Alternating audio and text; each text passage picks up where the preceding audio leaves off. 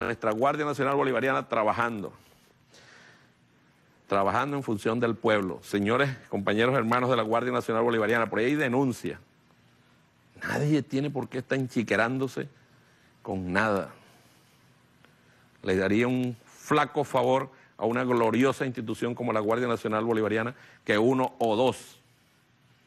Y nuestro querido hermano Sabarce Pavón, Fabio, es un, bueno, los persigue donde vayan.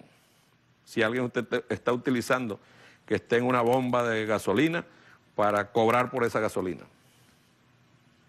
Eso, eso es inadmisible en una revolución. Absolutamente inadmisible en una revolución.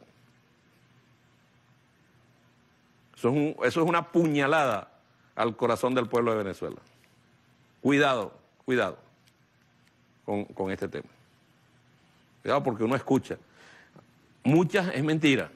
Gente que va y como no, no pudo echar gasolina se pone brava y acusa. Pero, pero bueno, el guardia está ahí cumpliendo su función, pues. Pero cuidado que alguna resultara cierta. Cuidado.